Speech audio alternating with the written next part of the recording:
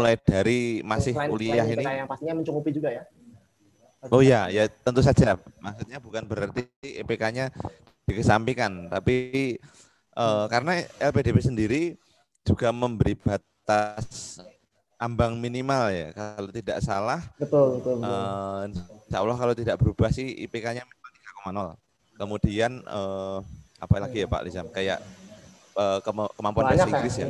Hmm, kemampuan bahasa Inggris, kemudian juga dari piagam-piagam. Kalau ada kayak seminar kemudian ada workshop itu nggak apa-apa. Itu bisa dimasukkan juga. Nanti pasti akan eh, sedikit banyak pasti akan sangat berpengaruh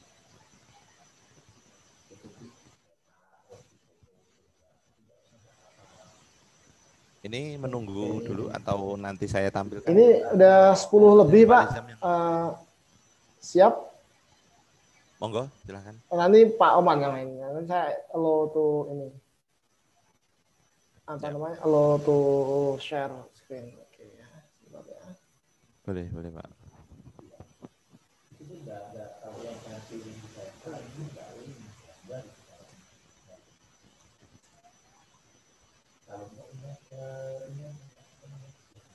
Oke. Mulai ya, baik. Ya. Eh,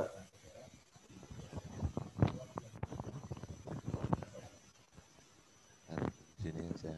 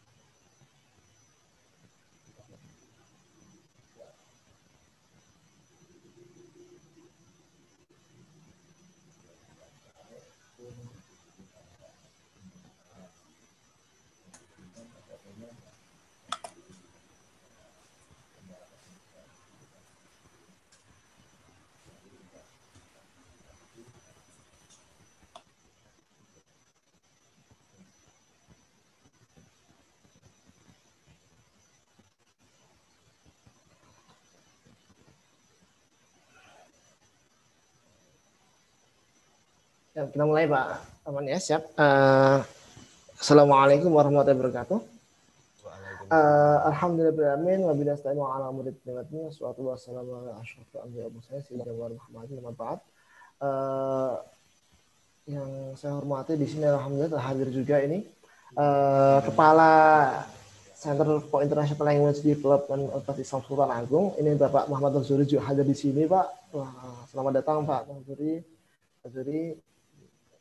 Terus dan pembicara kita hari ini materi kita hari ini ya ini Asyik Pak Rahman Mustafa ini dan rekan-rekan semuanya eh, pecinta silat Unisulah kita nyebutnya ini Ciladers ya, Ciladers Unisulah ya Ciladers Unisulah eh, yang hari ini bisa hadir di majelis virtual ini ya.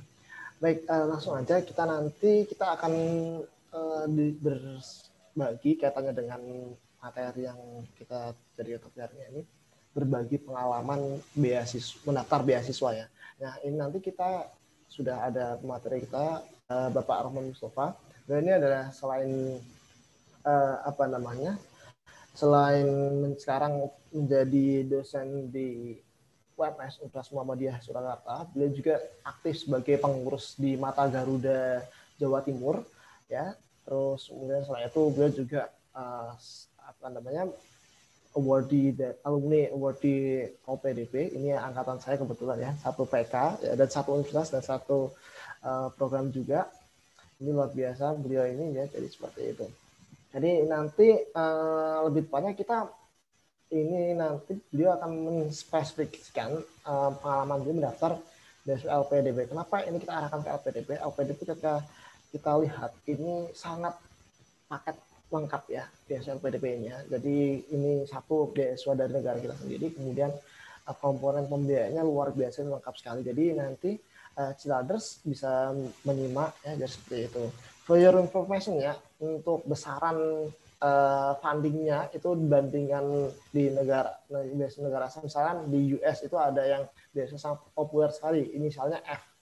Nah, itu uh, F tersebut menghindari untuk uh, univ-univ dari ininya apa namanya penerima beasiswanya ke univ-univ bonafit, misalkan Harvard, kemudian uh, yang peringkat tinggi gitu. Tapi kalau di LPDP itu malah ada semacam kayak reward atau tunjangan khusus untuk teman teman-teman yang mau apply ke univ yang uh, peringkatnya tinggi. Jadi seperti itu. Selain itu ada kayak uh, yang nanti PhD di sana juga, misalkan ke mana pun ada family allowance juga jika membawa keluarga dan sebagainya. Jadi luar biasa. Makanya ini nanti uh, kita arahkan untuk berbagi pengalaman dengan Pak Rahman Mustafa ini untuk berbagi pengalaman mendaftar beasiswa LPDB. Jadi seperti itu. Oke. Okay. Uh, eh, Pak Rahman, nanti Pak Rahman boleh share screen untuk materi mau diambilkan di slide. Uh, nanti kita sifatnya adalah semacam kayak uh, talk ya, jadi ngobrol tapi uh, nanti ada sesi diskusinya juga di akhir saya tanya jawab ya para mandir seperti itu. Nanti kurang lebih waktunya ya 20 sampai 30 menit lah untuk menyampaikan materinya dulu. Kalau dikira itu kurang lama ya belum menyesuaikan. Jadi seperti itu. Jadi nggak lama Oke, Pak Roman, okay, uh, waktu di tempat kami persilakan Pak. Ini Bu Lesa Screen. Oke, uh, Assalamualaikum warahmatullahi wabarakatuh terima kasih kepada Bapak uh, Ahmad Nizamuddin, kemudian Bapak Zuhri dan adik-adik di Silat Unisula ya. Jadi sebenarnya saya dengan Pak Lizam ini juga satu kampus dulunya di 11 Maret dan satu PK. Nanti saya jelaskan juga sedikit apa itu kenapa kok ada namanya PK. Kemudian ada namanya Mata Garuda juga. Jadi kalau nanti misalkan adik-adik itu sudah bergabung menjadi awardee sebutan bagi mereka yang diterima LPDP ada namanya organisasi namanya Mata Garuda. Di situ adik-adik bisa uh, berbagi banyak info atau mungkin mendapatkan banyak info ya sebaliknya seperti itu. Nah kemudian di sini saya mungkin ingin sedikit berbagi terkait dengan eh, proses-proses uh, yang dulu saya lewati ketika saya mendaftar LPDP.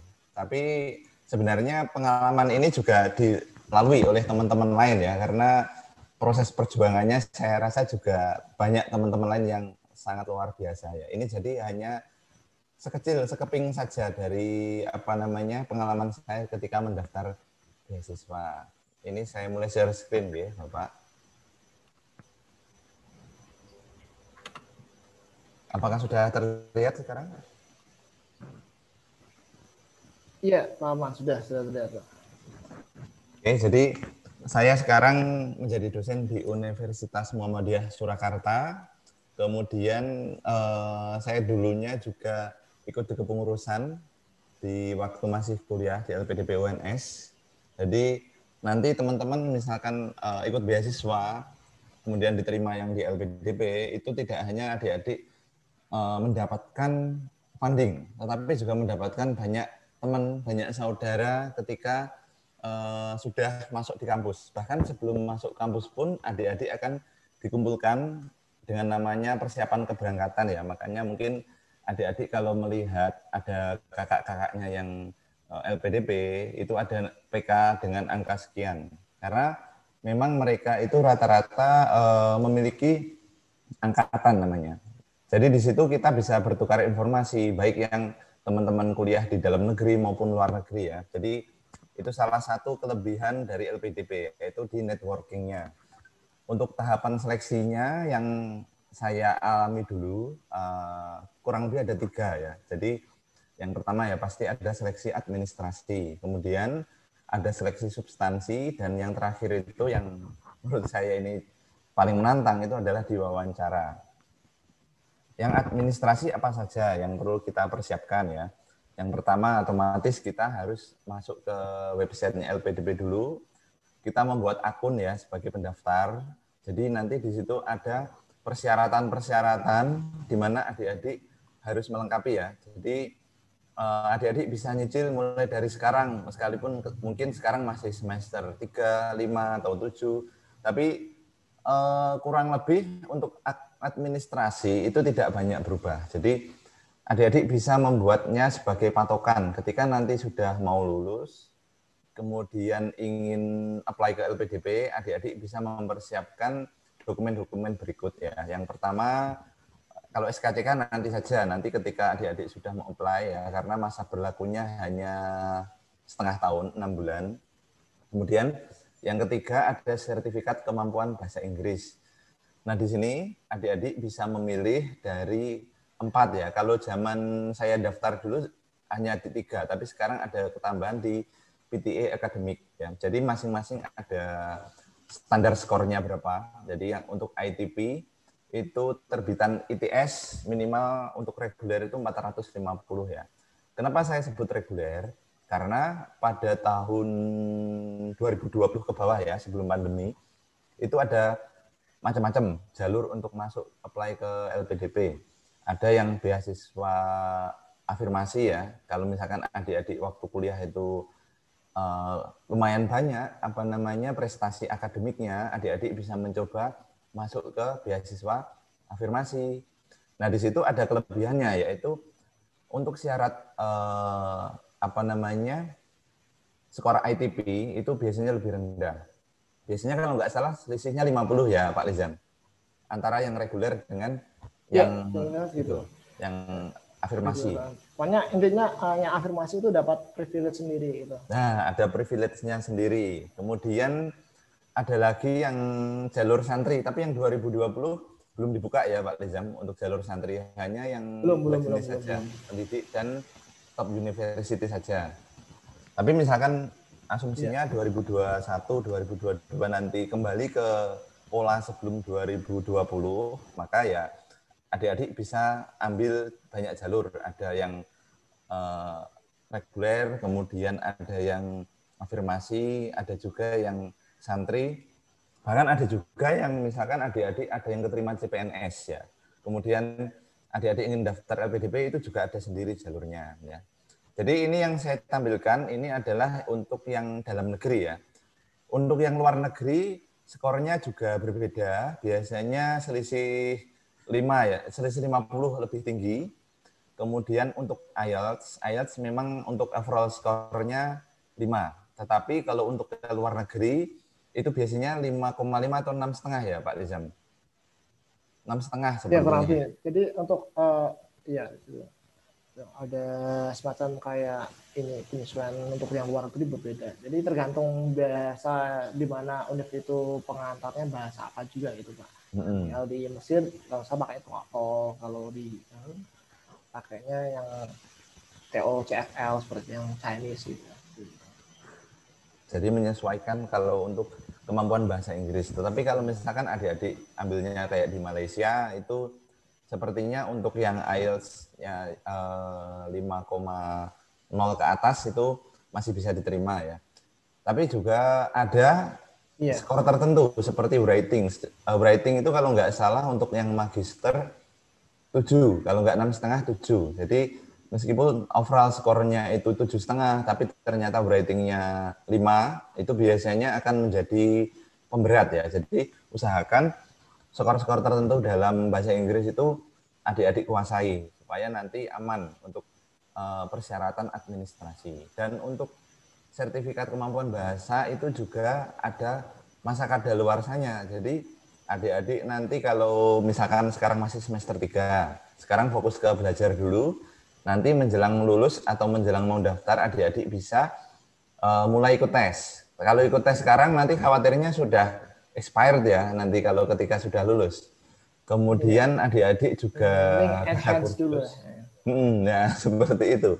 Kalau IBT minimal 45. Kalau PTE ini yang masih baru ya Pak Lizam dulu zaman kita daftar kayaknya belum ada ya yang PTE ini. Belum, belum, belum ada. Belum ada. Kemudian yaitu tadi kalau misalkan adik-adik mau ke negara-negara tertentu seperti Perancis, kemudian ke Tiongkok, itu biasanya selain sertifikat bahasa Inggris juga diminta kayak eh, bahasa apa ya bahasa nasionalnya sana ya kayak di Cina itu ada ya, ya. yang di Jepang eh, kalau Jepang kayaknya masih bisa ya hanya bahasa Inggris saja nggak harus dengan Jepang uh, anu ada ujian N-nya juga pak ya kalau di Indonesia itu N ya? pakai N ini ya, saya lupa panjangnya kompetensi namanya ini hoyo apa saya lupa itu kalau yang hmm. Cina-nya di Tiongkok itu pakainya ini HSK. HSK. Okay. HSK. Kenapa demikian? HSK, gitu. Kalau di gitu. seperti HSK itu ya kan karena di negaranya uh, yang mempersyaratkan bahasa-bahasa asing selain bahasa Inggris biasanya memang kegiatan perkuliahan.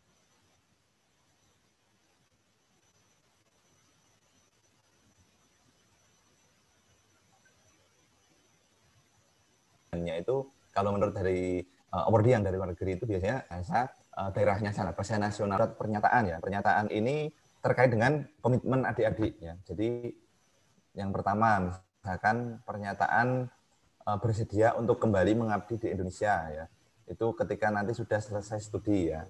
Otomatis kalau adik-adik nanti ambil LPDP, kemudian ada eh, angan-angan uh, untuk uh, sebagai batu loncatan supaya bisa kerja di luar negeri, mungkin perlu di rating uh, dipikirkan ulang karena memang ada durasi minimal. Kalau nggak salah 2N plus 1. N-nya itu adalah durasi iya. studi. Jadi misalkan S2-nya adik-adik itu dua tahun, ya berarti adik-adik boleh apply untuk kerja di luar negeri itu ya kurang lebih lima tahun ya kalau misalkan studinya dua tahun. Tapi sebenarnya itu juga suatu bentuk komitmen adik-adik dengan menandatangani surat pernyataan seperti itu.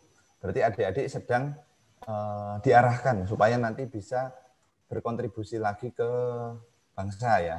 Kalau gambaran besarnya seperti itu. Jadi negara uh, melalui PDP sudah membiayai cukup banyak, kemudian ya diharapkan eh, adik-adik ini nanti kembali untuk ke Indonesia ya. Jadi bisa sebagai praktisi macam-macam, tidak harus sebagai dosen. Banyak dari uh, teman-teman ordi itu juga yang kerja di corporate di perusahaan itu juga bisa ya, seperti itu. Kemudian pernyataan juga ada pernyataan bahwa dia tidak pernah uh, apa ya? Belum terikat ya pak kayaknya. Kalau belum terikat itu masuk di sini nggak? Saya ingat saya dulu. Belum terikat di apa gitu kayak ada ya kalau nggak salah ada dua atau tiga surat pernyataan ya. Kemudian uh, ada dokumen akademik ya. Dokumen akademik ini tentu saja terkait dengan ijazah ya. Kemudian ada transkrip kemudian kalau adik-adik punya prestasi akademik yang banyak, adik-adik bisa uh, nanti menginkludkannya di sini. Yang keenam ada surat rekomendasi ya. Untuk surat rekomendasi saya dulu itu menggunakan dosen pembimbing skripsi saya ya. Jadi jaga betul-betul hubungannya antara adik-adik dengan dosen karena ketika nanti adik-adik mau apply ke beasiswa, kayaknya beasiswa mana pun ya, tidak hanya LPDP, itu membutuhkan surat rekomendasi ya. Kalau zaman saya dulu itu eh, tahun 2016 minimal ada dua surat rekomendasi. Jadi selain dari dosen pembimbing kita biasanya minta juga ke boleh ke dekan atau mungkin profesor ya, profesor atau katakanlah dosen yang apa namanya cukup uh, senior di situ nanti akan memberikan rekomendasi ke adik-adik. Formatnya juga adik-adik bisa unduh di website LPDP ya. Mudah-mudahan juga tidak berubah seperti itu. Nah, yang ketujuh yeah. ini yang uh, cukup uh, menantang ya Pak Lizam sepertinya. Kalau bagi saya dulu cukup menantang betul, betul, isinya betul. karena kita diminta untuk menulis ya seperti apa ya? Kayak adik-adik ini kegiatannya ngapain aja, terus rencana studinya nanti bahkan rencana setelah studi nanti itu mau ngapain aja ya. Dan dokumen-dokumen ini misalkan adik-adik udah punya sebagian, sebagian belum, itu bisa dicicil ya. Jadi uploadnya di website itu bisa di save, tidak langsung harus terkumpul semua kemudian di submit seperti itu tidak. Tapi adik-adik bisa upload satu persatu mana yang sudah punya, kemudian nanti di save. Baru kalau nanti sudah yakin, sudah lengkap semua, adik-adik bisa ke final submitnya. Nah, di situlah proses seleksi administrasi akan berjalan. Adik-adik akan mendapat email notif yang menyatakan bahwa eh, berkas sudah terima, silakan menunggu pengumuman seleksi administrasi. Tapi itu belum belum selesai ya, perjuangan baru dimulai di situ. Belum, nah, belum, belum. Tahapannya panjang itu. Iya. Ini dibuka pertanyaan dulu atau lanjut slide berikutnya dulu Pak Lizam? Lanjut aja Pak, ya. lanjut aja nanti aja kalau misalkan Ciladers. Jadi uh, Ciladers in, ini aktifnya itu biasa di belakang. Nanti biasanya itu yang udah ada itu lebih dari durasi sih gitu. nah, Oh, siap. Jadi, ya, oke. Okay. Uh, lanjut ya. dulu aja Pak Aman. Jadi Pak Aman uh, di sini tuh uh, yang bergabung itu enggak cuma mahasiswa Uniswa, jadi Sivitas Akademika Uniswa itu meliputi dosen juga ada di sini. Kemudian uh, ada adik mahasiswa juga, ada dari luar Uniswa juga banyak sekali yang tergabung di sini, Pak. Sudah itu. Jadi seperti itu. Yang nggak bisa masuk ke Zoom itu masuk juga itu nontonnya di ini di live YouTube, Pak. Biasanya gitu, Ciladers itu. Jadi banyak itu ya. Oh iya, betul ya. Oke. Gitu, Pak. Oke, siap, Pak Zam. Kemudian di administrasi ada satu bagian yang uh, cukup menantang ya di sini yaitu di isai ya. Jadi kalau dulu tahun 2016 itu esainya kita diminta untuk bikin dua. Esai yang pertama, esai kontribusiku untuk bangsa atau untuk negeri ya. Nah, esai yang pertama ini misalkan ya kita kan masih mahasiswa, kita mungkin masih bingung ya apa namanya uh, kontribusiku untuk bangsa itu apa ya? Ya enggak apa-apa, mulai dari hal-hal yang kecil ya. Mungkin aktif di Karang Taruna itu bisa dituliskan. Kemudian dengan uh, aktif di kegiatan-kegiatan organisasi di kampus itu juga bisa dimasukkan ke kontribusi. Jadi kontribusi itu tidak harus besar seperti besar banget ya. Kan enggak semua orang punya kesempatan untuk berkontribusi secara masif seperti itu ya. Tidak harus misalkan adik-adik menjadi apa namanya kayak pertukaran pelajar keluar. Tapi kalaupun itu ada, ya itu bagus. Itu bisa adik-adik tuliskan di situ ya. Kemudian yang kedua, esai tentang sukses terbesar dalam hidupku. Nah, di sini adik-adik akan diminta untuk menulis sukses terbesar dalam hidup adik-adik itu seperti apa. Jadi sebenarnya memang jujur untuk dua esai ini nggak ada kunci jawaban karena memang kita nggak dikasih uh, clue apakah isi yang kita susun ini sudah 100% benar atau tidak. Tapi setidaknya ini adalah isi dari uh, hasil tanya jawab dengan teman-teman yang diterima sebagai award di LPDP. Jadi untuk yang sukses terbesar, adik-adik bisa mulai dari hal-hal yang kecil ya, mulai dari keluarga ya, mungkin sukses terbesar dalam keluarga itu seperti apa menurut adik-adik. Kemudian dalam bidang akademik seperti apa seperti itu. dan sukses terbesar ke depan harapan ke depan suksesnya itu mau seperti apa. Itu nanti adik-adik bisa uh, jelaskan di situ ya. Jadi yang perlu menjadi catatan adalah adik-adik harus menuliskan dengan ejaan yang disempurnakan tuliskan dengan bahasa yang mudah dipahami ya tidak berbelit-belit dan pastikan ketentuan penulisan esai LPDP itu sudah adik-adik penuhi. Kalau tidak salah dulu ada ketentuan minimal 500 kata atau 5000 kata. Jadi jadi kalau adik-adik masih belum sampai ke angka itu, ya saran saya tidak nekat uh, submit, tapi dilengkapi dulu. Gampang kok, sebenarnya ya gampang-gampang susah sih ya, karena sedikit tricky di bagian ini. Kemudian di bagian essay ya, apa yang sebaiknya dan sebaik, sebaiknya ditulis dan sebaiknya dihindari ya. Kalau yang ditulis ya otomatis adik-adik bisa menuliskan impian atau rencana studi di situ ya. Dan bahkan setelah studi, saya dulu menulis kalau setelah studi itu saya kan belum tahu nanti bakalan berkarir di mana. Ya saya tuliskan aja nanti setelah lulus itu saya ingin berkarir sebagai apa ya. Tapi kalau misalkan adik-adik sudah punya gambaran nanti mau berkarir di instansi mana ya tidak apa-apa. Mungkin adik-adik setelah lulus terima bekerja di mana kemudian lanjut LPDP adik-adik bisa menuliskan di instansi mana adik-adik akan lanjut mengabdi seperti itu. Kemudian ulasan singkat tentang pengalaman hidup ya. Pengalaman hidup ini tentunya kalau bisa hal-hal yang cenderung positif ya. Jadi pengalaman hidup yang negatif mungkin tidak perlu ditulis di sini karena untuk essay sekalipun adik-adik menulis tentang riwayat hidup adik-adik sampai sejauh ini tapi juga hindari curhat apa namanya kalau mungkin tujuan adik-adik curhat di situ supaya memperbesar peluang itu tidak ada pengaruhnya. Insya Allah tidak ada pengaruhnya. Jadi IC di sini adalah IC yang uh, murni sesuai dengan tema ya seperti itu. Kemudian uh, kalau saya dulu ya kenapa saya menyarankan di sini menggunakan gaya yang uh, positif dan op optimis tapi juga realistis karena tidak hanya di LPDP di sebelum ini kalau untuk persyaratan IC sepertinya kalau dengan gaya bahasa yang seperti itu itu yang cenderung bisa menimbulkan apa ya uh, suasana pembaca itu lebih positif ya seperti itu. Jadi uh, perhatikan gaya bahasa adik-adik seperti itu. Dan uh, usahakan ya nanti adik-adik mencari referensi sebanyak-banyaknya. Kalau sekarang banyak sekali teman-teman awardi yang menuliskan isainya atau tips menulis isainya itu di website-website ya, baik itu blog maupun di website-website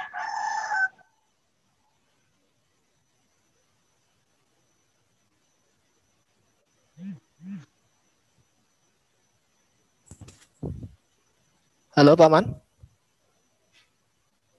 Uh, yang menyediakan info beasiswa. Tetapi di sini uh, seperti adik-adik sesuaikan ya. Mana ini kok tidak sesuai dengan saya, tidak usah. Juga membaca ulang. Ketika adik-adik merasa sudah selesai, dibaca ulang dulu. Kira-kira ada teman nggak kalau ada menimbulkan makna yang ambigu atau tidak isinya. Kalau sudah yakin oke, okay, berarti adik-adik bisa save ya. Nah, hal-hal yang sebaiknya dihindari ya, otomatis tulisan yang bersifat menyinggung sara ya. Kemudian uh, tulisan yang sifatnya berputar-putar berulang ulang sudah ditulis kok ditulis lagi tulis ditulis lagi itu sebaiknya dihindari. Kemudian ada mendiskreditkan kelompok tertentu, hal-hal tersebut juga sebaiknya dihindari dan menuliskan hal-hal yang tidak berkaitan dengan tema ya, seperti ya tadi mungkin curhat seperti itu sebaiknya ya dihindari. Eh kemarin juga menuliskan ulasan singkat tentang profil saya, tapi itu hanya singkat, tidak sampai dominan, hanya di awal saja. Nah, setelah esai tadi masuk sebagai administratif, nanti adik-adik akan misalkan lolos, ada namanya seleksi substansi ya. Seleksi substansi itu kalau nggak salah dulu itu ada dua sebenarnya. Wawancara masuk di sini. Tetapi ya, dulu dua tahun saja, 2019 Pak. ada wawasan kebangsaan juga ya Pak Lizam kalau nggak salah. Itu. Uh, iya ya. Jadi kita pun dulu cuma dua saja kalau nggak salah ya kan yaitu hmm. uh, cuma leaderless group discussion, discussion dan essay on the sama spot. on the spot essay-nya enggak dulu kayaknya. Duh, Pak saya enggak ya? dulu. Oh. Enggak, saya enggak, Jadi, saya dulu enggak. Berarti okay. generasi yang oh iya. Jadi saya dulu ya, di batch 3 itu apa namanya diminta untuk essay on the spot juga Pak Lizam. Saya dulu kalau nggak salah dikasih tema uh, tentang vaksin, tapi bukan vaksin COVID ya, kan zaman itu belum belum ada ya apa namanya bahasan COVID. Hmm. Tapi tentang vaksin apa ya?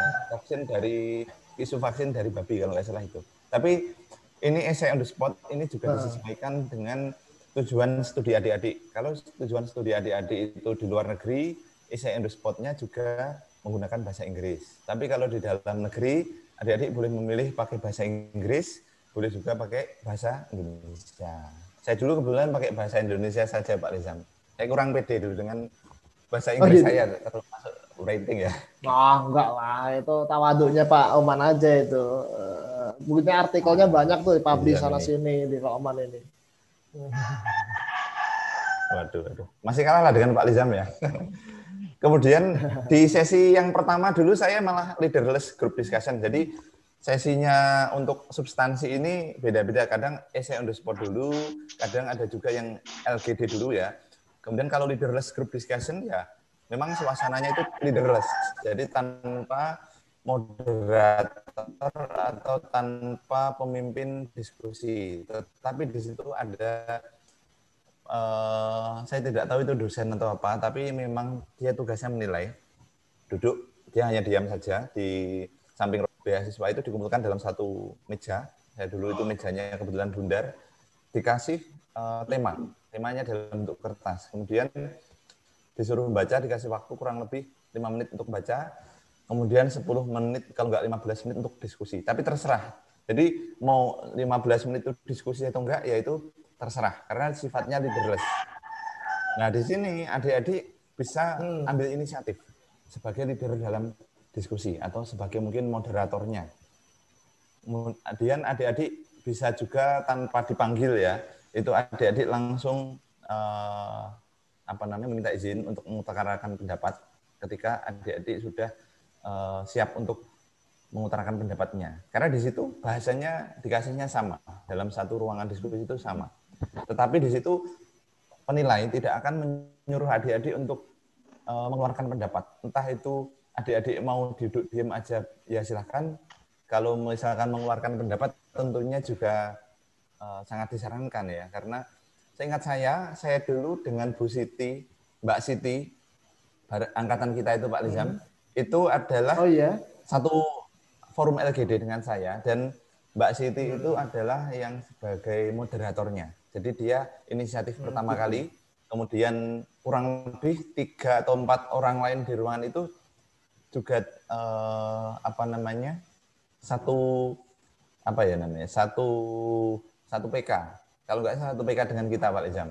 Dan hmm. ternyata ya memang oh, gitu ya. rata-rata yang diterima adalah mereka yang berani untuk ambil inisiatif di forum LGD. Jadi kalau sekarang adik-adik mungkin ada rasa minder atau malu, adik-adik bisa berlatih untuk mulai latihan mulai dari sekarang Pak ya, untuk hmm, speak latihan sekarang. berbicara di depan, latihan ber hmm. berretorika, latihan membangun apa namanya pendapat seperti itu. Jadi nggak cuma asbun ya, nggak asal bunyi ya. apa itu Pak Lezam asbun? Asal asbun, asal bunyi. oh, asal bunyi, oh ya ya ya. Saya tadi dengarnya asbun ya. Oke. Jadi mulai dari perkuliahan itu ada adik ya yang mungkin kuliahnya dulu kupu-kupu ya, kuliah pulang kuliah pulang, mungkin bisa mulai merubah dari sekarang. Jadi eh, nanti akan terasa banget ketika adik-adik sudah di forum yang uh, seperti LGD itu. Tetapi ini saya beri tanda bintang karena apa? Karena di tahun 2019 teman-teman itu sudah nggak ada LGD, tapi tidak menutup kemungkinan di tahun berikutnya nanti ada. Jadi tetap saya masukkan dalam sharing di sini. Kemudian yang dulu saya tidak ada, tapi dari teman-teman setelah saya ada itu kalau nggak salah CBT ya Pak Lizam. CBT untuk menilai wawasan yeah. kebangsaan dan psikotes ya seperti itu. Psikotes Jadi, juga itu yang psikotes itu ya, ya, yang online. Online. Ya. Jadi adik-adik juga bisa mulai cari referensi seperti apa sih nanti yang ditanyakan ya. Ketika itu adalah tes CBT. Kalau wawasan kebangsaan eh, rasanya itu seperti wawancara sebenarnya dari teman-teman yang eh, saya minta pendapat. Tapi tidak seperti pertanyaan UAS atau TS, jadi lebih ke personal. Kamu misalkan sehari ini seperti apa? Misalkan dihadapkan pada situasi yang menuntutmu untuk uh, mungkin nasionalisme itu seperti apa? Jadi ya nanti jawabannya itu tidak harus sesuai dengan yang diharapkan oleh wawancara, tapi ya jangan sampai itu istilahnya melenceng dari nasionalisme seperti itu. Jadi adik-adik perlu memperhatikan tes wawasan kebangsaan. Jadi tidak ada dari tahapan yang sudah dijelaskan tadi itu yang paling apa ya, yang bobotnya paling kecil. Kita tidak tahu. Semuanya memiliki bobot yang sama. Jadi semuanya wajib untuk dipersiapkan sebaik mungkin. Kemudian yang ini wawancara dulu masuk substansi ya Pak Lizam. Tapi di sini kebetulan saya dulu itu sesi terakhir. Ya, gitu. Jadi ini saya masukkan sesi yang tersendiri. Benar, jadi untuk wawancara nanti adik-adik akan ditanyakan banyak ditanya oleh banyak hal. Saya dulu eh, kebetulan ada tiga. Saya tidak tahu apakah polanya tetap sama seperti itu. Jadi ada tiga pewawancara. Seingat saya yang aktif bertanya itu satu, satunya lagi sama sekali tidak bertanya, tapi seperti mencatat sesuatu ya. Jadi eh, yang ya, perlu adik-adik ketahui adalah pertanyaan tersebut murni digunakan untuk penilaian uh, beasiswa. Jadi saran saya ya ini tadi uh, hindari baper ya, hindari baper. Apalagi kalau misalkan mungkin interviewer hindari baper. Pertanyaan ke yang lebih personal ya, seperti mungkin kamu sudah pacaran seperti itu. Wah, ternyata Belum seumur hidup ya, misalkan seperti itu. Jangan baper ya. Jadi uh, tetap apa namanya kalau bisa usahakan tersenyum ya, tapi ya nggak sepanjang waktu lah. Jadi dari mulai datang ya itu adik-adik ucapkan juga salam, kemudian ucapkan terima kasih, duduk dengan rileks ya, kemudian juga jangan terlalu tegang, kemudian pertahankan eye contact. Jadi dari teman-teman yang sudah apa namanya sharing juga, ketika dia wawancara itu ya dia ketika menjawab dia juga kalau bisa melakukan kontak mata. Karena di situ pewawancara dia biasanya diambilkan kalau enggak dari praktisi juga dari psikolog. Jadi uh, jawablah pertanyaan dengan jujur, tapi ya dengan bahasa yang bagus ya. Istilahnya adik-adik di sini akan dilihat uh, point of sellingnya. Point of selling itu ya seperti meskipun kita itu manusia biasa, tapi kita mencitrakan itu sebagai sesuatu yang positif ya. Jadi bukan memandang segala sesuatu dalam sudut pandang misalkan saya kok belum ini belum ini tapi memandang dari sudut pandang yang negatif jangan seperti itu. Jadi ceritakan adik-adik dari sudut pandang yang lebih positif. Jadi sangat tidak menyarankan untuk mengada-ngada ya karena mungkin kalau psikolog pasti akan tahu kita ketika gestur kita itu berbicara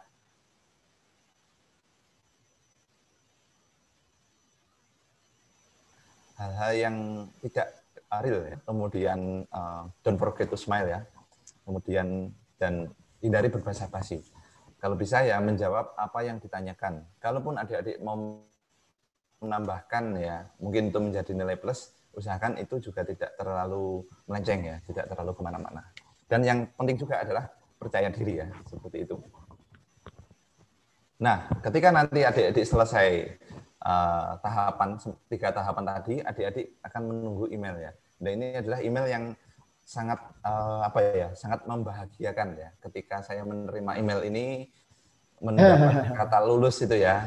Seperti ya Pak Lizam juga seperti itu. Atau mungkin biasa saja Pak Lizam. Kalau saya sangat membahagiakan ya. Sampai Aha, sampai saya terdiam beberapa Pak. saat gitu lah. Iya, iya. Ini beneran ya, wah ya alhamdulillah. Ternyata uh, setelah sekian tahapan itu membaca tulisan seperti itu sangat membahagiakan ya. Ya seperti mudah-mudahan nanti banyak adik-adik di sini yang akan menerima email seperti ini ya. Email uh, dari LPDP seperti ini.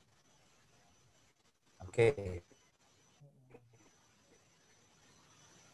Personal note saja mungkin dari saya ya. Ketika kita dinyatakan diterima oleh LPDP dan memiliki hutang, hutang kepada siapa ya? Kepada negara, kepada masyarakat, dan kepada keilmuan kita. Jadi eh, bagaimana cara kita membayar hutang? Ya kita dengan bekerja sebaik mungkin. Kemudian mungkin kita bisanya berkontribusi di apa ya seperti itu. Tidak harus menjadi aparatur sipil negara kalau mungkin memang itu belum rezeki, tapi juga bisa di sektor-sektor lain ya. Mungkin adik-adik dengan kalau punya skill menulis ya, dengan menulis seperti itu juga merupakan suatu bentuk uh, membayar hutang. Jadi adik-adik tidak akan kalau insya Allah ya insya Allah tidak akan terbuang percuma seperti itu. Nah sejauh awardee yang saya temui ketika sharing ya, yang saya dapatkan itu adalah LPDB tidak membedakan asal dari mana, agamanya apa, warna kulit maupun budayanya seperti apa. LPDB juga tidak hanya beasiswa bagi yang nilainya bagus ya, tapi juga yang berkemauan kuat. Artinya, kalau nilai bagus, it's okay. Kemudian kalau nilainya kurang bagus, ya jangan berkecil hati ketika, sehingga kemudian ketika pembukaan LPDP kalian sudah minder duluan, nah itu kalah sebelum berperang berarti.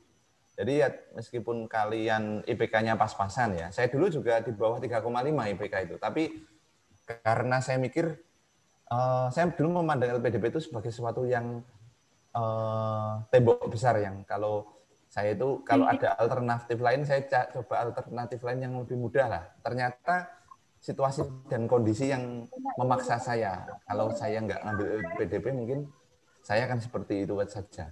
Jadi akhirnya itu akan membuat kita melampaui batas-batasan kita ya. Jadi the sky is the limit ya. Jadi adik-adik ini jangan minder. Sky the sky is the limit artinya kalau adik-adik bisa bermimpi ya adik-adik selagi masih bisa berusaha ada peluang dicoba saja ya. Wablu alam ya, toh kan nggak rugi. Kalau misalkan itu rezeki adik-adik, sesulit apa pun pasti uh, adik-adik bisa dinyatakan lolos. Tapi kalau memang belum rezeki, seperti apa pun usahanya seperti apa pun mungkin akan diarahkan ke rezeki yang lain. Jadi intinya adalah LBDP untuk semua ya, bermimpilah niscaya Allah Subhanahu wa taala akan merengkuh mimpi-mimpimu ya. Oke, itu saja. Monggo kalau ada sesi uh, tanya jawab, diskusi yang bisa saya jawab, saya usahakan akan menjawab. Oke, Monggo, baik. Saya kembalikan. Baik, terima kasih Pak Aman. Oke, uh, Ciladers, silakan Ciladers uh, yang mau bertanya langsung unmute aja langsung sampaikan gitu. Kalau misalkan malu untuk uh, bicara langsung di ketika aja di apa namanya chat nanti saya sampaikan ke Pak Oman itu seperti itu.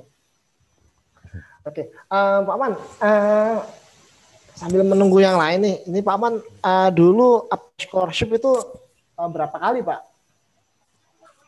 LPDP atau yang lain?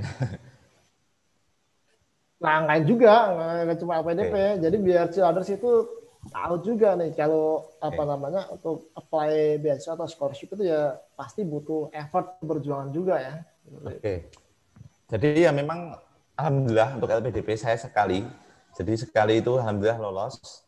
Tapi sebelumnya waktu saya sedang kuliah S1 juga saya pernah apply untuk beasiswa ya dulu kayak penelitian gitu loh Pak, tapi sifatnya nggak full funding.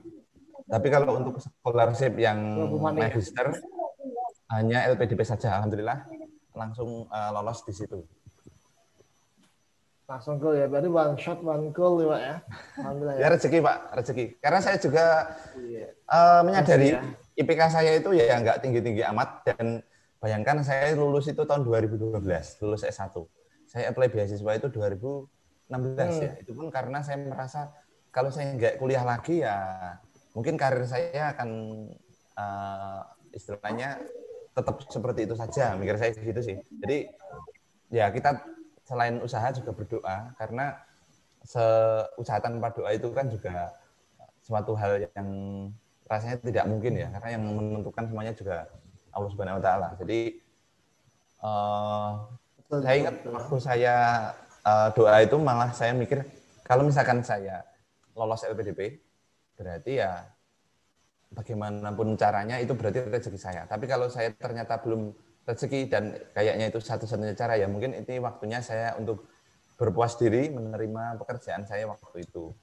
Jadi memang saya ada keinginan untuk kembali ke dunia pendidikan sebagai pengajar ya. Saya memang merasa menemukan passion di situ. Jadi entah nanti kalau hmm, sudah selesai S2 nggak harus jadi dosen sih saya mikir saya dulu jadi guru jadi tutor hmm. nggak nggak masalah dari saya tapi ya namanya rezeki mungkin eh, waktu nyoba seperti itu jadi banyak sebenarnya scholarship tapi iya.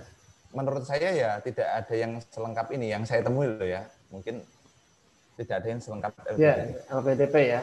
Komponen-komponennya ada uang buku ya. Kalau dalam negeri ini boleh nggak ngomong nominal atau nggak boleh? Mungkin biar tertarik? Nggak usah lah, nanti usah. biar Cilader saja ini cari tahun juga gitu. Oke. Okay. Ya, Jadi kalau misalkan adik-adik dapat beasiswa LPDP itu ada komponen-komponen yang akan adik-adik terima ya. Yang pertama otomatis biaya kuliahnya sudah nggak perlu adik-adik bayar karena itu sudah dari pihak LPDP dengan kampus. Kemudian eh, ada living allowance ya. Living allowance itu adalah biaya hidup adik-adik. Ya, living allowance jadi, ya. Hmm, jadi adik-adik udah kuliah nggak bayar, adik-adik masih dapat living allowance. Rasanya itu seperti kerjanya itu kuliah. Jadi adik-adik tetap digaji tapi kerjanya adalah kuliah ya seperti itu. Jadi ada living allowance untuk biaya hidup adik-adik tergantung ya. Jadi ada dua jenis ya. Kalau living allowance dalam negeri itu yang di daerah Jakarta kalau nggak salah Jakarta, Bandung itu cenderung lebih tinggi karena memang biaya hidup lebih tinggi ya, upaya kota-kota besar lebih tinggi. Gitu. Mm -hmm. Tapi kalau untuk yang standar kayak di Solo, di Jogja, kemudian di kota-kota lain itu biasanya uh, hanya selisih berapa ratus ribu gitu. Kemudian selain itu juga adik-adik dapat oh, iya. tunjangan buku ya. Jadi tunjangan buku itu adik-adik uh, lumayan besar ya, cukup besar ya. Bahkan uh, tit gitu ya tit. ya, gitu tit ya. Tit lah pokoknya ya. Jadi buku ya. nanti kira bukunya itu buku buku-buku kecil ya. Tapi buku-buku bahkan untuk buku kedokteran pun bisa adik-adik beli dengan itu ya. Buku-buku kedokteran yang terkenal tebal dan mahal itu kemudian ada juga settlement okay. allowance settlement allowance itu singkatnya savings ya seperti adik-adik ketika pertama datang ke tujuan studi ya dengan catatan kampus tujuan studi itu berbeda hmm. dengan settlement allowance ya settlement allowance nah itu adik-adik akan mendapat dari dua kali living allowance istilahnya itu digunakan untuk biaya betul, pindahan betul, betul, ya. biaya beli-beli peralatan ngekos Hmm, betul, betul. atau kontrak seperti itu. Kontrak ya. Kalau saya dulu kontrak rumah ya. Wah, mantap. Iya, Pak Lizam bawa keluarga Oke. dulu. Ah, iya. Oke. Gotongin dari Kendal. Oke. Yang Pak, Pak Aman, ini ada yang tanya nih Pak. Assalamualaikum Pak. Eh, Waalaikumsalam. oh, ini dari guru saya ini malah yang tanya ini. Waduh. Ini Pak Eko Widianto. Eh, Ini Assalamualaikum Pak. Saya mau bertanya ini. Apakah dalam satu keluarga seperti suami istri bisa mendaftar LPDP dalam satu periode yang sama dan dengan tujuan kampus yang sama Pak? Nah, gimana itu? Pengalaman kita itu ada kan? Nah, Ada. teman kita ya, beliau dari Lampung itu ada Pak Aman ya. Iya Ya. gitu. Jadi untuk yang ini LPDP tidak membatasi mau misalkan suami istri pada angkatan atau tahun yang sama monggo sangat dipersilahkan Bapak. Jadi eh, ada teman kita seangkatan kita juga masuk di, di UNS itu suami istri juga. Kemudian ada juga teman yang award di, di luar negeri di Jepang itu juga eh, suami istri. Jadi menikah sebelum dapat beasiswa, kemudian apply beasiswa di negara yang sama tetapi kampus berbeda. Jadi eh, apa namanya? ya Istilahnya kayak misalkan sama-sama di Jawa Tengah lah, tapi dia satunya di Unisula, satunya di UMS, misalkan seperti itu boleh. Jadi tidak ada larangan bahwa suami istri itu mendaftar harus di periode yang berbeda ataupun di negara yang berbeda. Di kampus. Enggak. Tidak ada. Bahkan Mm-mm. yang angkatan kita itu ada Pak ya, itu dari itu dari Lampung ya, Pak Rudi sama Dari Lampung. Bu Desti itu kan beliau Bu suami Desti, istri ha. sampai apa ya, Mm-mm. sampai Jadi, dapat bonus Malah dulu keturunan juga bayi itu anak juga di sana. Gitu. cerita Iya, itu itu pak apa eh dulu yang diterima kan Bu Desti dulu kemudian Pak Ah. Rudi eh apply yang untuk batch berikutnya di tahun yang sama dan alhamdulillah diterima Betul. biasanya nanti akan Diterima ditanya juga. Namanya kalau sudah berkeluarga waktu tes wawancara itu ditanya suami atau istri bagaimana nanti kalau studi Hmm. Nah, nanti mungkin Bapak misalkan istri diajak daftar ya enggak apa-apa. Eh, Bapak cerita saja. Ya siapa tahu kan itu malah menjadi apa ya bobot untuk diterima ya. ya wuluh alam bonus lah yang untuk itu. Jadi tidak apa-apa. Tapi ad- Bapak tidak akan mendapatkan family allowance ya nanti karena satu satu Iya, lokasi iya, yang sama. ya. Betul ya. Kalau family allowance itu sama. bisa diajukan ketika pasangan dan anak itu eh, bukan ordi.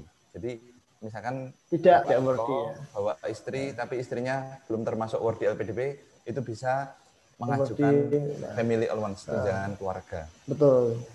Betul. Maksimal dua Gitu. malang ya Pak. ya? Gitu Pak Berarti- Eko, rencana mau S3 di mana ini Pak Eko ini?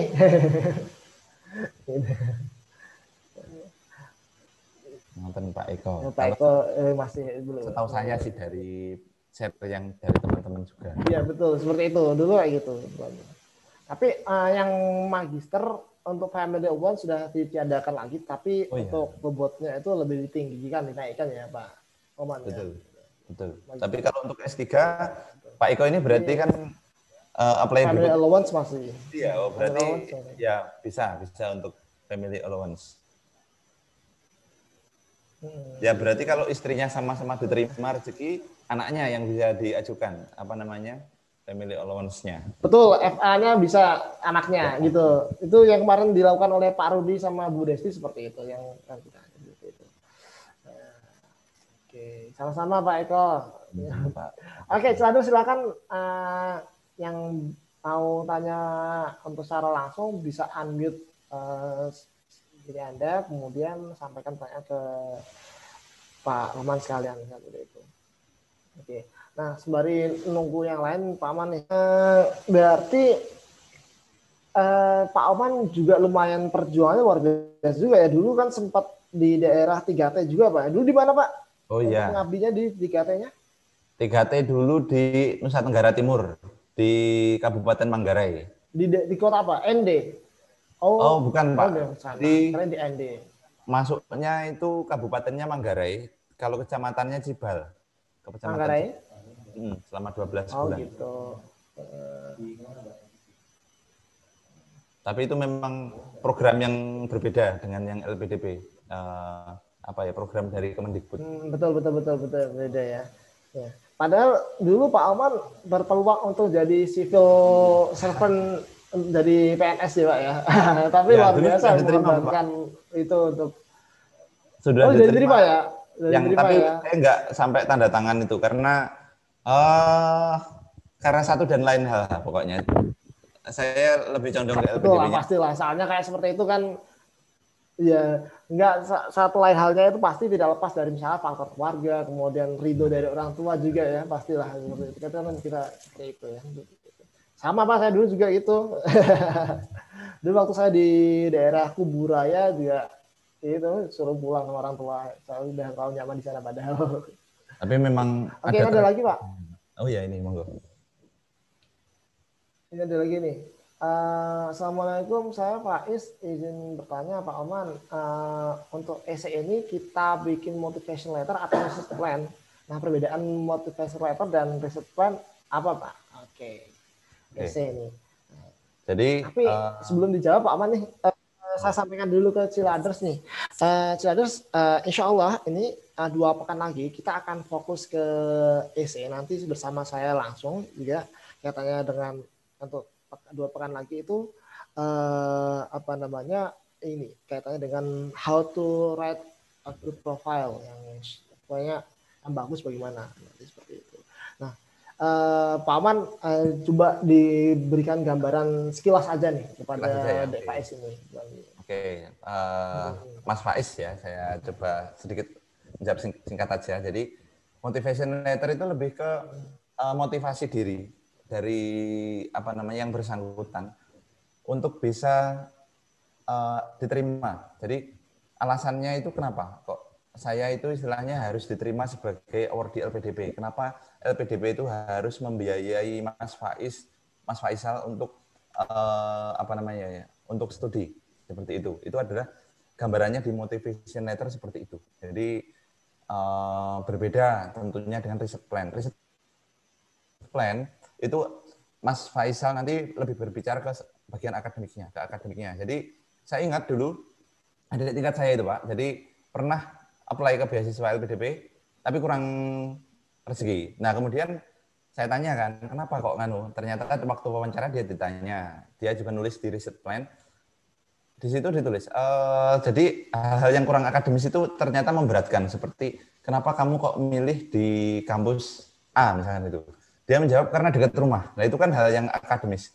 Jadi di wawancara itu uh, usahakan menjawabnya secara akademis ya. Misalkan ya, ya mungkin kalau itu alasan utama betul, ya, betul, betul. yang dijawab seperti itu. Adik-adik bisa mulai riset ke kampusnya ya, mungkin melalui websitenya kan bisa. Mulai dari akreditasinya, mungkin dari dosennya atau program studinya ya. Rata-rata kalau teman-teman yang ambil S2 di luar negeri itu karena ngejar di program studi atau dosennya. Biasanya kan ada terkenal kayak dosen pakar apa itu mengajar di sini. Nah itu eh, adik-adik bisa masukkan di riset plan atau mungkin kalau nanti ditanya di sesi wawancara nanti bisa disampaikan. Jadi usahakan alasan yang muncul adalah alasan yang akademis ya, masih berkaitan dengan studi. Jangan alasan yang karena keluarga saya memaksa di situ atau mungkin karena dekat rumah. Nah itu Aduh. itu terlalu polos pak ya. Kalau dulu Pak Alman uh, riset plan yang diajukan apa pak itu pak? Oke, okay, saya ingat saya dulu riset plan saya tulis itu saya awali dengan itu kayak nanti misalkan saya di semester satu ya karena kalau S2 kan 4 semester. Apa bidangnya ya. apa pak? Kan bidangnya Pak Alman kan eh, manajemen ya. Oh, saya pendidikan ekonomi. Ya, kan? Pendidikan ekonomi. Nah, oh, ekonomi ya. Ekonomi saya enggak karena saya enggak uh, kalau bisa ya nanti adik-adik cari kurikulum S2 atau S3 tergantung dari studinya tujuan itu seperti apa. Betul. Ya, kalau misalkan ada adik-adik bisa hmm. berpedoman pada situ. Jadi misalkan di semester 1 mau mengambil mata kuliah apa seperti itu. Atau bisa dengan adik-adik tanya ke kakak tingkat atau mungkin orang lain yang pernah kuliah di kampus yang menjadi tujuan. Tapi kalau nggak ada, kebetulan kemarin UNS kan nggak ada ya Pak itu. Jadi saya hanya mengira-ngira saja. Jadi yeah. saya nggak nggak secara detail menyebut mata kuliah apa, tetapi saya menulis misalkan gini pada semester 1 saya akan menempuh mata kuliah pendidikan. Kemudian dan juga saya akan mengambil mata kuliah yang terkait dengan ekonomi. yang mana itu major saya kan. Kemudian di semester 2 saya memperdalam dengan katakanlah uh, mulai menulis penelitian riset seperti itu, ikut seminar, konferensi itu merupakan hmm. bagian dari riset plan. Kemudian ditulis juga kapan adik-adik mulai akan rencana ngambil uh, penelitian tesis seperti itu. Jadi riset plan itu LPDP ingin tahu gambaran adik-adik kalau nanti diterima sebagai apa namanya uh, mahasiswa magister atau doktoral, progresnya nanti mau seperti apa? Apakah ini kayak Mas apa namanya disebut Mas Lijam apa Asbun ya? Usahakan jangan Asbun. Jadi uh, riset-riset dulu lah. Nanti kampusnya itu kurikulumnya seperti apa ya? Ya kalau ternyata di kampusnya itu ada Betul, kurikulum ya. Secara detail ya itu alhamdulillah berarti itu mempermudah adik-adik untuk menulis riset plan. Jadi untuk riset plan itu lebih ke akademis banget ya. Kalau motivation letter itu lebih ke internalnya adik-adik, tapi bisa juga ditambahkan dengan itu apa namanya? Itu. Ya. Oke deh. Uh, Oke deh, itu ya.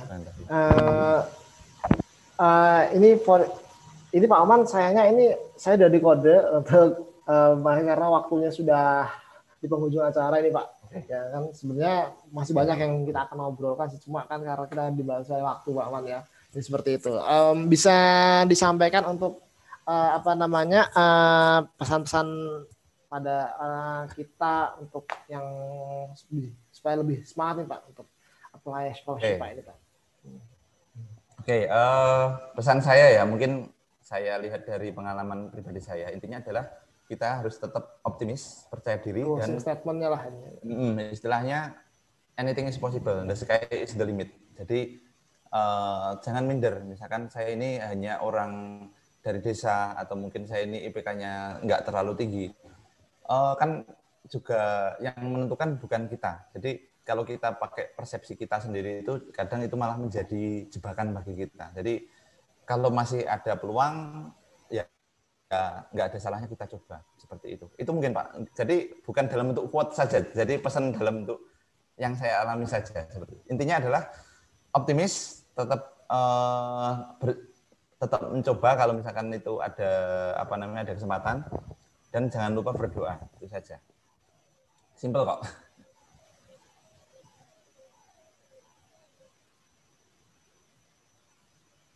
Halo Pak. Halo Pak Rizam. Ayo, ya halo. Oke. Aman. Oke. Ya halo. Masuk tadi suara saya? Masuk? Tidak Pak, tidak. Makanya tuh oh, saya cek-cek sudah tadi okay. ini. Ya.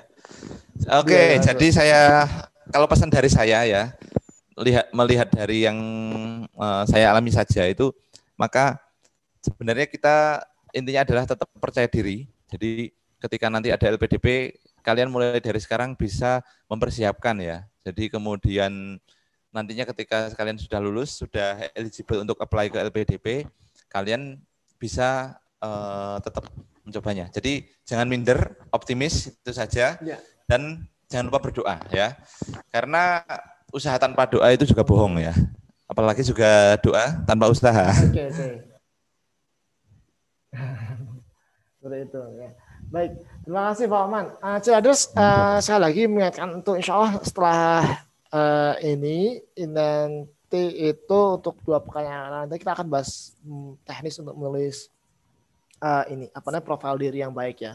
Uh, bagi Ciladus yang benar ingin mau belajar itu nanti uh, pas saat mendaftarkan diri nanti itu di situ diteskan untuk apa nama essay yang coba buat dulu nanti di submit nanti saya review kita nanti kupas bareng di ini di sesi pas foto ya. Jadi yang dua pekan lagi jadi dua kali senin lagi jadi seperti itu.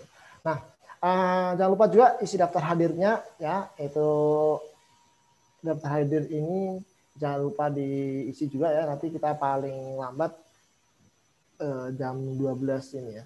Terus um, selain itu juga seperti biasa ya. Kalau sesi seperti ini tidak lepas yang namanya ini dokumentasi ya. Silakan please turn on your kamera, silakan dinyalakan kameranya Bapak Ibu sekalian, silakan semuanya. Nah, kita akan sesi dokumentasi ya.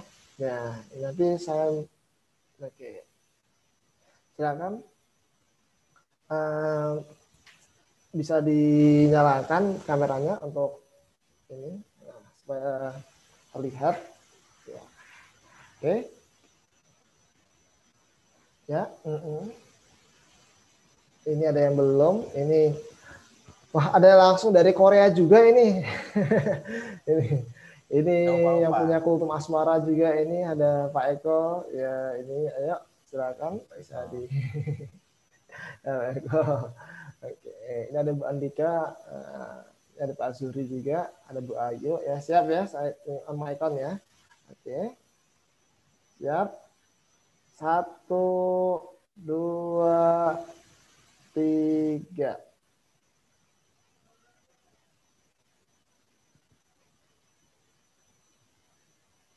Sebentar. Lagi nggih?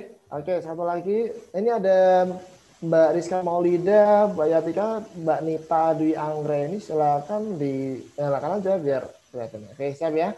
One, two, three.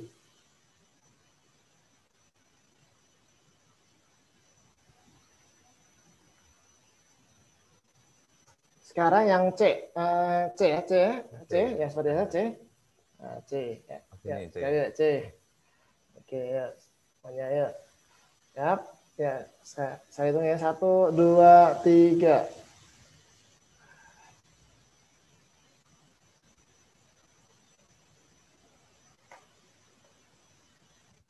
Ah, sudah. Baik, terima kasih ada semuanya, Bapak Ibu sekalian. Ya, Pak Oman, terima kasih Pak telah meluangkan waktunya untuk bersama kita semua ini Pak ya gitu.